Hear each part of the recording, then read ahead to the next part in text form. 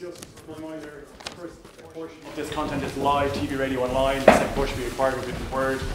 We're in different rooms today, so TV, you're the room next to this, which is the Gold Salon, and then live radio, guys, you are the room beyond that, which is the Morrison, okay, for breakouts afterwards. So we'll get underway with head coach Joe Schmidt now since the weekend. Uh, the team playing in team this weekend is Cian Healy, Rory Best captain, Tadhg Furlong, James Ryan, Iain Henderson, Peter O'Mahony, Dan Leavy, CJ Stander, Conor Murray, Johnny Sexton, Jacob Stockdale, Bundee Aki, Garry Ringrose, Keith Earls, and Rob Kearney. And the replacements are Sean Cronin, Jack McGrath, Andrew Porter, Devin Toner, Jordi Murphy, Kieran Marmion, Joey Carbery, and Jordan Larmour. So what's the mood in the camp like at the game? Uh, yeah, it's been pretty good. Um, you know, I, I think there's uh, there's a sense of anticipation. There's a sense of nervousness. Um, I, I think the the magnitude of uh, what it's going to take to get us over the line is is very much uppermost in the thinking. At the same time, um, there's been a, a good opportunity to to relax a little bit um, and recover from from what was a, a pretty uh, a pretty intense game against uh, against Scotland. Is the process just it like any other game that you win the Six Nations? I think we have as much as we can. Uh, it, it has been uh, a very similar uh, rhythm to our week, and we probably don't want to break that rhythm up too much because it served us quite well so far. Joe, what was your reaction to the comments that Eddie Jones made in the last couple of days? Um, I look, I'm not exactly sure what they were. I, I know there's a little bit of noise about them, but they're not directly relevant to us, to be honest. Um, I, I don't know what the specifics of them are, but uh, those words don't impact on how we play or, or, or how his team play, and, and that's our focus. Joe, what do you make of um, Eddie's team selection for the weekend? Uh, he's mixed it up a little bit. Uh, a few guys, I, I think the squad is very similar, but he, he's flicked a few guys from the bench into the starting lineup and, and vice versa. Um, yeah, it, it- changes things a little bit.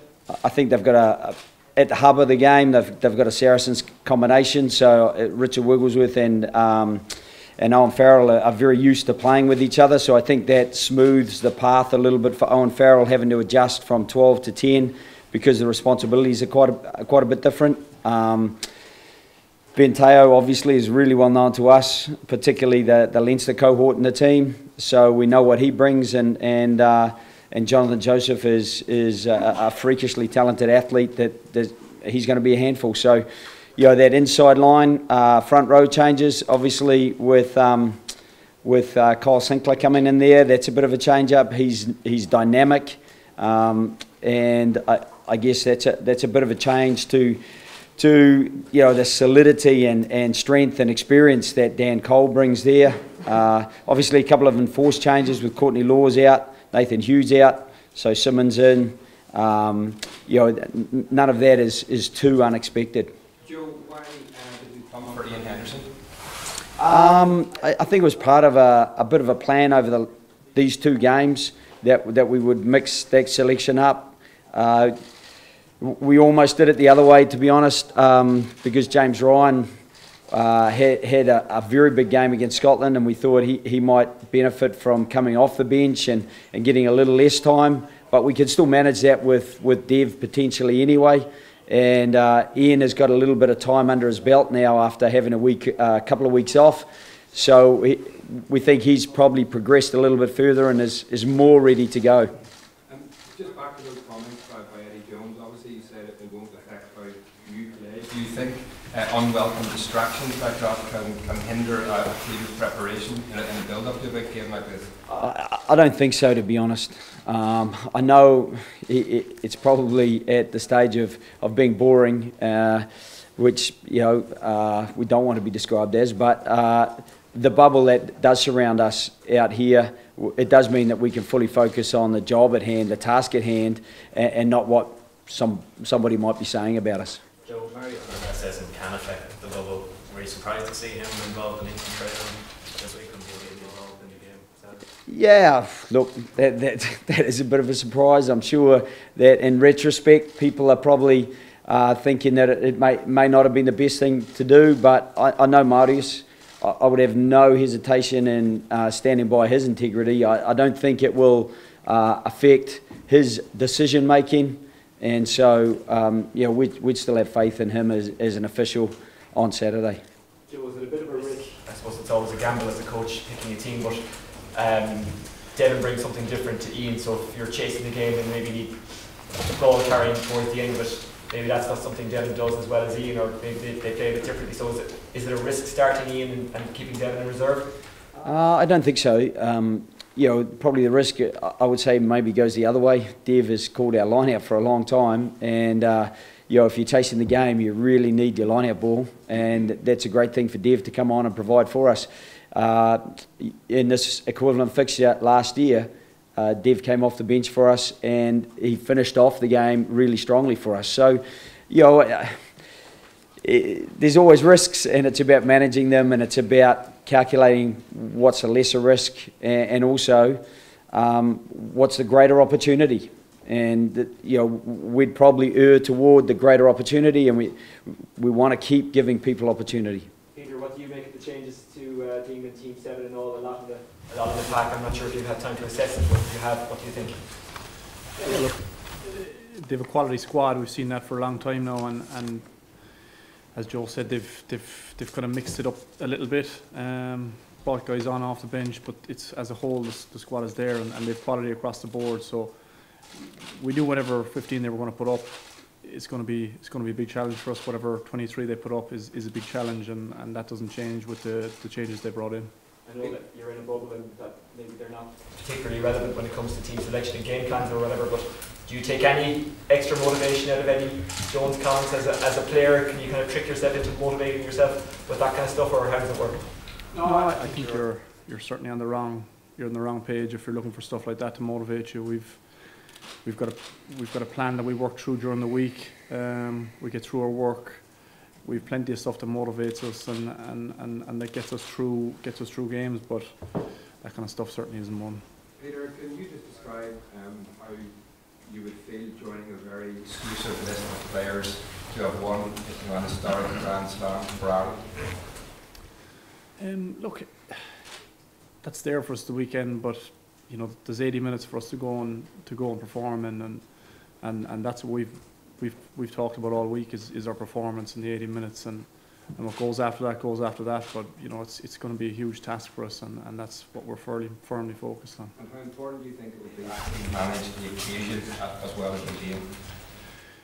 We've got to go and manage the 80 minutes. That's what we've got to go and do. We've got to go as uh, as well as we can treat it. It's it's it's another Six Nations game. You know, we've had four huge tests um, that we've that we've got through the other side, and we've got 80 minutes now to to perform at the weekend, and it, it's it's no different to any of those other four. We, you know, it's it's almost cup rugby the way we've treated it, and and you know this is our final.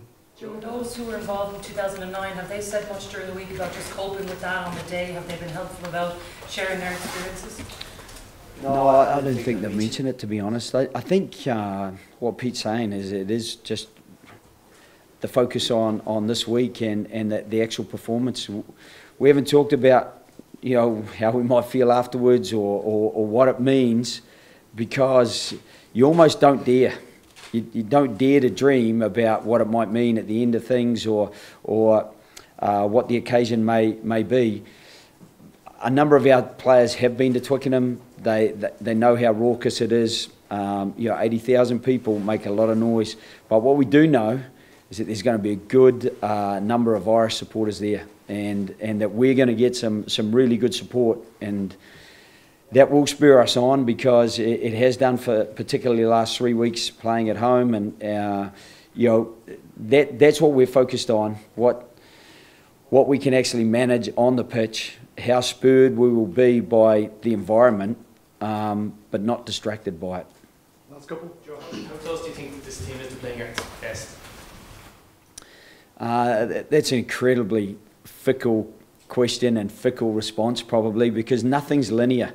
You could be at your best to score a fantastic try, and then somebody slips in the defensive system, or somebody drops a ball and they kick it through and they score back, and suddenly you're described to be at your sloppy worst. that's how fickle the game is. And so what you try to do is you manage as best you can to compile a whole lot of best moments and have as few of those slip ups or, or sloppy moments as possible. And so the, to get the best, you, you're just trying to, to do what you can at the, at the task that you're, uh, you're prepared for. And inevitably, because there are so many variables in a rugby game, there are 31 humans on the pitch, and um, then there's an odd shaped ball, and then there's environmental conditions, and then there's pressure and anxiety, and, and then you expect perfection or you hope for per- perfection. And, and while that may be the, the end goal, you know that it's not realistic, that there's going to be times where, where you make an error and you're under huge pressure. And it's really how you convert your best moments and how well you cope in those moments that you're going to be under the most pressure.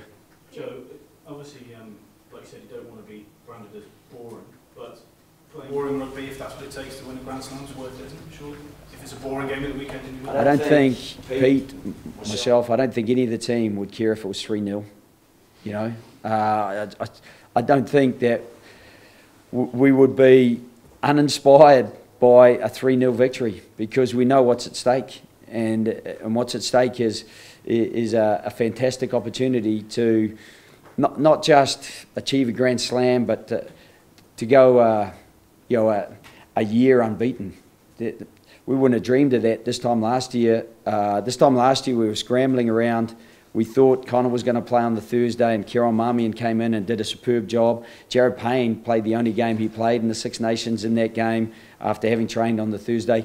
You know, I, I think you know that character reference that we have from that group has has helped us build from there on, and um, you know ho- hopefully we can continue to build on that, and, and that would be special for us in, in all sorts of ways because of the the championship and, and what is at stake. Last year. Do you need to bring that, home to, Twickenham now? Yeah, we all do. I I think, I think, I think the, the 23 guys who, who have been lucky enough selected know that it's, it's got to be, it's got to be your best performance. You know, um, it's.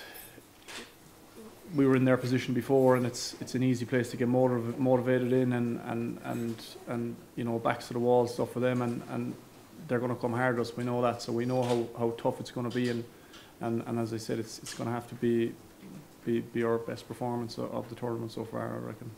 Okay, guys, sorry, we're going to have to keep going.